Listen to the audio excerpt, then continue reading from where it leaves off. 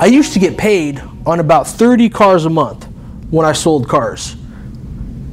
Very early on. I sold about three to five cars a month.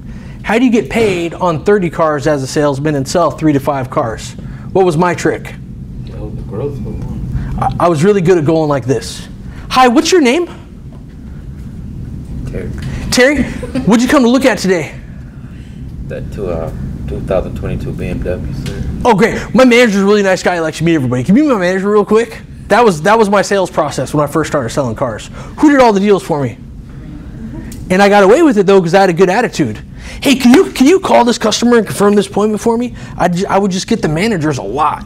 As soon as I found out I could get a manager on every single deal, did a whole lot better.